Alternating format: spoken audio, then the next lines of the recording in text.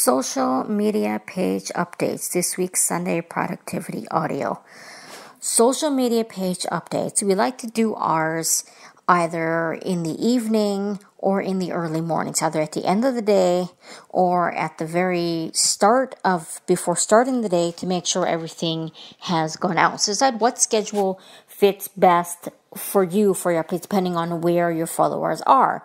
If most of them are overseas, then from where you are and you know, eight, 10 hour time difference, then your end of the day would catch them in their early morning before they start work.